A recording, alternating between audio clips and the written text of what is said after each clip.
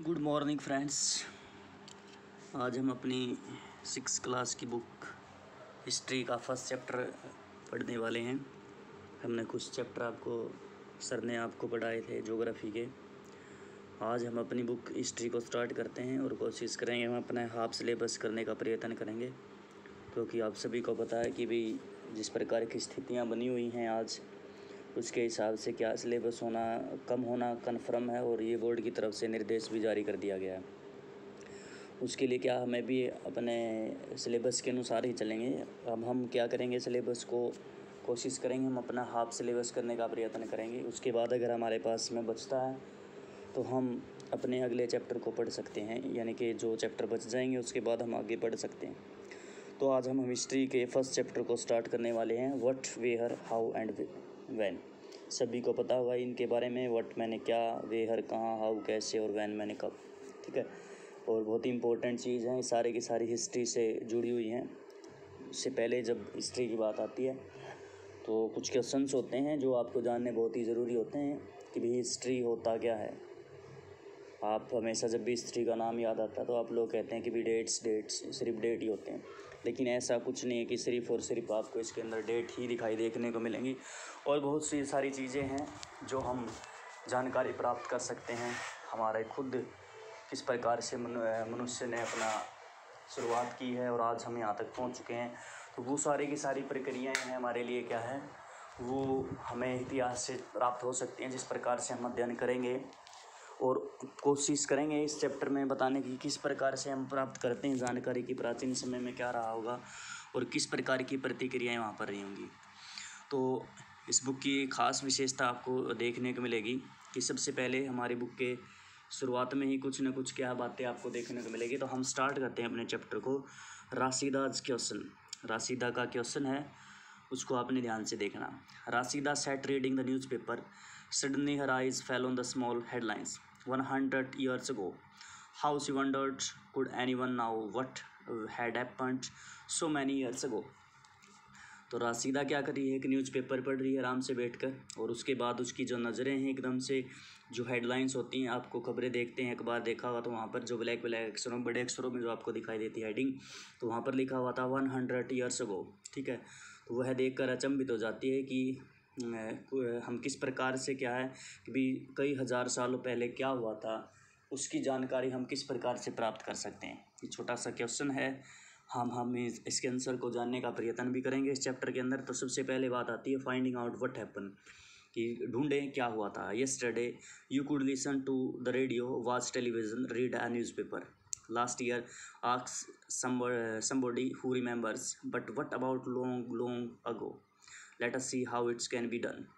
देखो सिंपल सी बात है कि भी यदि हम बात करें कल कल की कुछ भी बात है, जैसे बुक के अनुसार कि भी आपने रेडियो सुना था, आपने टेलीविज़न देखा था, आपने न्यूज़पेपर पढ़ा था तो कल की बातें आप उनको बता सकते हैं।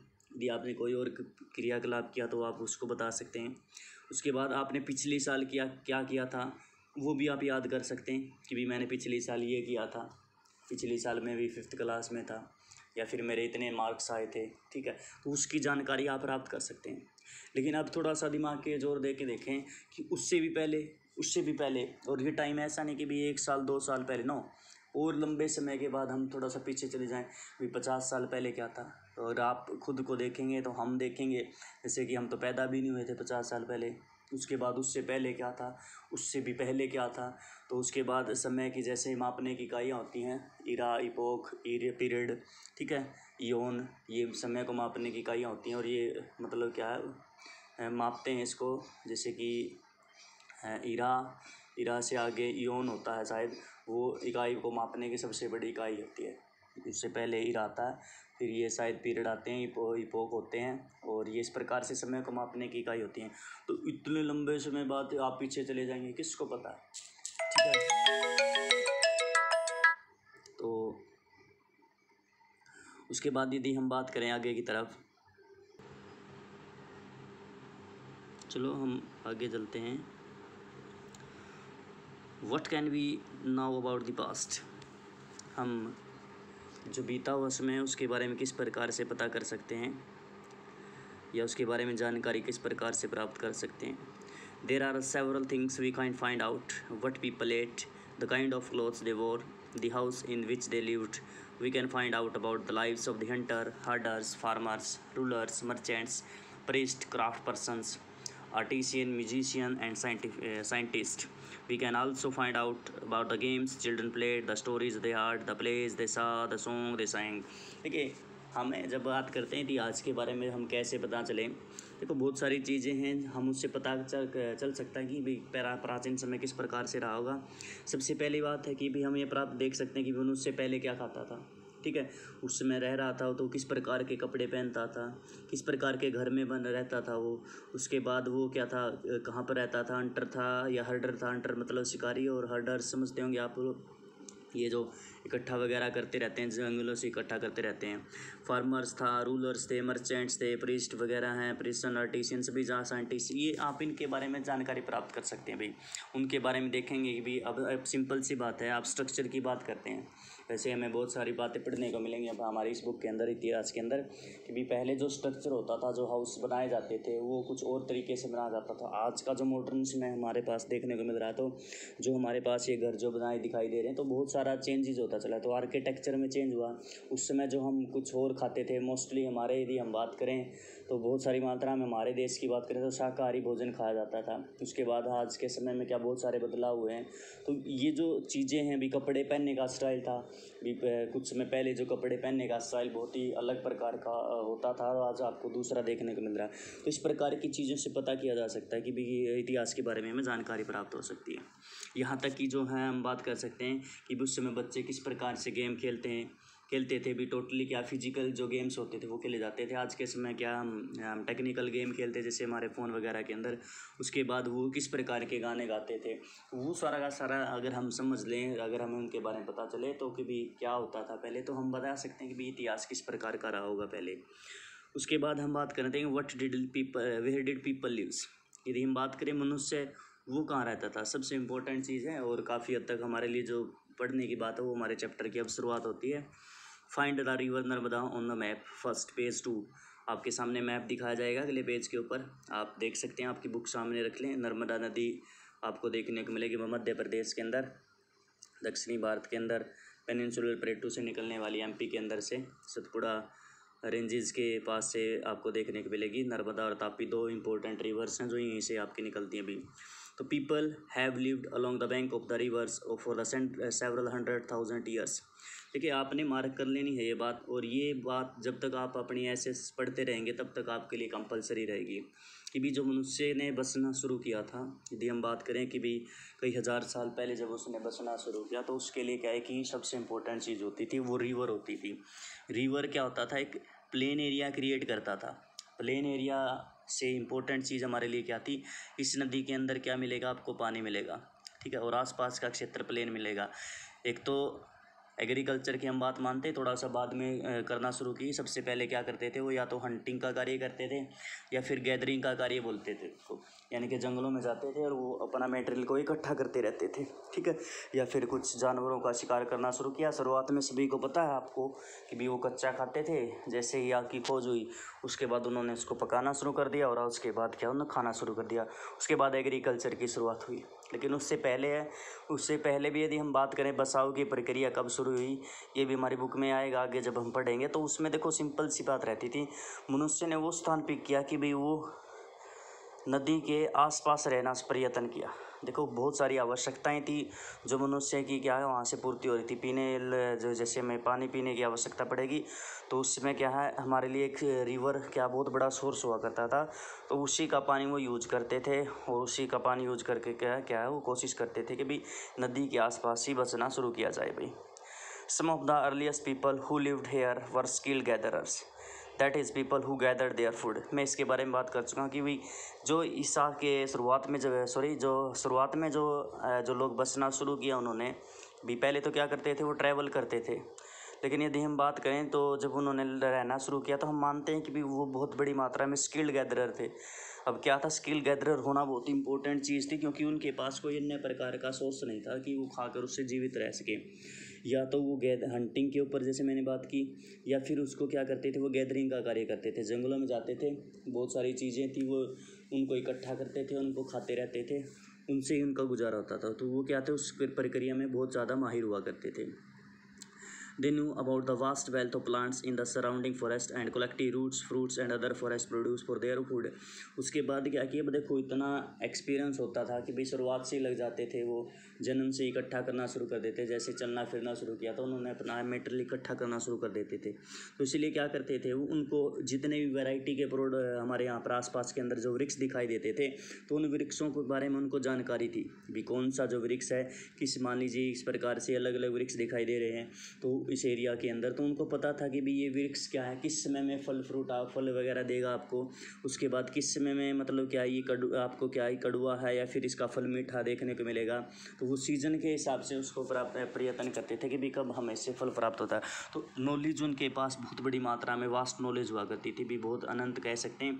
और उसका एकमात्र कारण आप कह सकते हैं कि उनका एक्सपीरियंस जो वो ट्रैवल करते रहते थे। उसके बाद है, वो वहीं से इकट्ठा करते थे रूट्स फ्रूट्स फॉरेस्ट प्रोड्यूस यानी कि सिंपल सी बात है कि इसको, एक और चीज़ है, मैं एक और सिंपल सी बात बता देता हूँ। जो मनुष्य की इकोनॉमिकल एक्टिविटीज़ होती हैं तो मनुष्य की इकोनॉमिक एक्टिविटीज़ का जब बात आती है तो सबसे पहली जो इकोनॉमिक एक्टिविटीज़ की थी मनुष्य ने, वो दो ही थी। सबसे पहले हंटिंग और ये गैदरिंग की कहा ही नाम आता भी। दे आल्सो हंटेड एनिमल्स वो क्या करते थे? पशुओं को भी मारते थे। दे आल्सो हंटेड एनिमल्स इसके बारे में बता चुका हूँ कि दो ही प्रक्रिया हंटिंग और गैदरिंग का कार्य किया जाता था। उसके बाद आगे चलते now find the Sulaiman and Kirthar hills of the north west अब हम आते आते हैं उत्तर और पूर्वी भारत के अंदर, इस साइड में आते हैं। तो वहाँ पर सुलेमान और किरथर जो हिल्स हैं, उनके बारे में पता करेंगे। Some of the areas where women and men first began to grow crops such as the wheat and barley about eight thousand years ago the located here तो ऐसा माना जाता है कि आठ हज़ार साल पहले, सबसे पहले यहाँ पर क्या है, शुरुआत की गई थी क्रॉप्स वीट और बार्ले की भी। People also began rearing animals like sheep goat and cattles and lived in the village और यहीं पर क्या थे? वो साथ के साथ कुछ पशुओं को भी पालते थे। जिन पशुओं का जो कार्य क्या करते थे? उनको मीट के रूप में प्रयोग करते थे। उनसे दूध प्राप्त होता था। उनसे सुरक्षा की दृष्टि से भी उनको रखा जाता था। यानी कि कुछ या फिर उनको क्या है? वो खुद ट्रैवल करते थे। तो वहाँ पर क्या? परिवहन के रूप में भी हम वो इसको यूज़ करते थे भी। Locate on the Garo hills in the north east and the Vindhyachal in the central India locate Garo Khasi और जैंतिया की जो पहाड़ियाँ जैसे गारो हिल्स फिर जैंतिया और खासी और फिर जैंतिया तीन ये जो है हमारी पहाड़ियाँ हैं और यहाँ पर बहुत बड़ी मात्रा में बारिश होती है अभी पूरे। और उसके बाद विंध्याचल ये हमारा सेंट्रल, हमारा जो पेनिनसुलर प्लेटो उसका एक पार्ट आता है, मध्य प्रदेश का एरिया आपको देखने को मिलेगा और यहीं पर आपकी वो जो नर्मदा नदी है, आपको दिखाई गई अभी। There were some of the other areas where agriculture developed the place where the rice first grown are the north of the Vindhyachal उसके बाद कुछ और स्थान है जहाँ पर हमारे यहाँ पर कृषि की शुरुआत हुई है और हमारे जो विंध्याचल रेंजेज है, उसके उत्तरी भाग की तरफ़ क्या है कि उसमें भी हमें क्या जानकारी मिलेगी वहाँ पर क्या है, चावल की खेती होती थी, जो कि आज के समय में भी होती कोई सिंपल सी बात है, अगर आपको पता कि फर्टाइल एरिया है, एक बार वापस आपके मैप के ऊपर चलें। जैसे कि विंध्याचल है, इसके नॉर्थ की तरफ़ हम बात करेंगे, ये नॉर्थ हो गया हमारा ऊपर की साइड में। तो ये एरियाज़ के अंदर यहाँ पर जो है, सबसे प्रमुख भारत की नदी जो गंगा उसके बाद हमारी चंबल है, सोन है, बेतवा है और सबसे लास्ट में ये केन है और इसके साथ में ये यमुना आएगी सॉरी ये पहले गंगा आएगी, इसके साथ साथ यमुना और फिर यमुना में चंबल, सोन ये सॉरी सोन, केन आएगी शायद, केन और सोन तो सबसे लास्ट में गंगा नदी में ही मिलती है, बाकी यमुना नदी में आकर मिलती है। तो ये सारे की सारी आपको देखने को मिलेंगे भाई। उसके बाद यदि हम आगे की तरफ़ बात करते हैं there are trace the rivers Indus and tributaries देखो, उसके बाद हम हमारे लिए लास्ट है, ये थोड़ा सा और पढ़ेंगे कि भी rivers Indus and its tributaries को पढ़ें आप। देखो, हमारे यहाँ पर क्या है कि नदियाँ होती हैं ना नदियों का हम मुख्य तौर पर बांटते हैं कि भी इनको सिस्टम बोला जाता है। एक जो मुख्य नदी होती है और उसके अंदर जो आके मिलने वाली जो सहायक नदियाँ होती हैं, उसको मिलाकर उसको रिवर सिस्टम बोला जाता है। तो यदि हम जब भी भारत के रिवर सिस्टम की यदि हम बात करते हैं तो सबसे इंपॉर्टेंट जब बात होती है, सबसे पहले हमारा गंगा रिवर सिस्टम होता है। उसके बाद हम बात करते हैं हमारे लिए इंडस वाटर सिस्टम होता है। जिसके बाद हमारा तीसरे नंबर पर हम कह सकते हैं, एक ब्रह्मपुत्र रिवर सिस्टम होता है और चौथे नंबर पर हमारा पेनिनसुलर प्लेटू की रिवर्स आती है। तो ये जो हमारा इंडस और ट्रिब्यूटरीज की बात की गई है तो वहाँ से बात करेंगे। तो यदि मैं बताऊँ आपको बात कि भाई सबसे पहले इंडस होती है, फिर उसके बाद क्या है कि भी झेलम है चेनाब है, रावी है, ब्यास है और सतलुज है। ये पाँच नदियाँ आपको देखने को मिलेंगी और छठी नदी आपको देखने को मिलेगी इंडस पर ठीक है? अगर मैं छोटी सी और एक्स्ट्रा जानकारी दे देता हूँ आपको, क्या होता है कि भी जो ऊपर वाली तीन नदियाँ हैं, वो उसका जो है अस्सी प्रतिशत जो पानी है, वो पाकिस्तान के अंदर जाता है और आज के समय की बात है, उसका ट्वेंटी परसेंट हमारे भारत के अंदर यूज़ कर सकते हैं। हमारा एग्रीमेंट हुआ था इंडस वाटर ट्रीटी के नाम से, नाइनटीन सिक्सटीज़ के अंदर। तो और नीचे वाली जो है तीन रिवर है, उसके अंदर अस्सी प्रतिशत जो पानी हम यूज़ कर सकते हैं और बाकी ट्वेंटी परसेंट क्या है वो पाकिस्तान के लिए छोड़ सकते हैं, ये हमारे यूज़ ट्रीटी यूज़ के अनुसार है। लेकिन उसके अलावा हमें जो जानने वाली बात यह है कि भी आप लोकेट करें, क्योंकि ये जो बात कह रहे हैं कि जब हम बात कर रहे हैं इसकी तो ये एक सब कॉन्टिनेंट का दर्जा दिया जाता था। तो यहाँ पर ये कोई, ये नहीं था कि भी ये ये पाकिस्तान अलग है या फिर ये हमारा बांग्लादेश अलग है। तो ये बहुत सारा एरिया था जो कवर होता था, यहाँ सब इसको क्या सब कॉन्टिनेंट के नाम से जाना जाता था। तो वो हमें इसके बारे में बताया गया कि किस प्रकार से आप लोकेट करें उस समय में। तो जिस प्रकार से इन्होंने बताया है, वो about four hundred sorry four thousand seven hundred years ago some of the earliest cities flourished on the bank of these rivers later about two thousand and five hundred years ago cities developed on the bank of the Ganga and its tributaries along the sea coasts उसके बाद देखो सत्तालीस हज़ार साल, सैंतालीस हज़ार साल पहले क्या हुआ कि भी शुरुआती समय में यहाँ पर शहर बसना शुरू किए, इसी के किनारे पर। किनारे पे बसने का कारण वही है मोस्टली एक तो आप अच्छी प्रकार से एग्रीकल्चर कर सकते थे और आपकी ज़रूरत के हिसाब से क्या आप उस वाटर को यूज़ कर सकते थे। उसी के साथ साथ बाद में क्या है कि भी जो गंगा नदी थी, उस गंगा नदी के पास भी क्या देखने को मिलेगा आपको? डेवलपमेंट होती हुई देखने को मिलेगी भाई। बस भैया आज के लिए काफ़ी है इतना।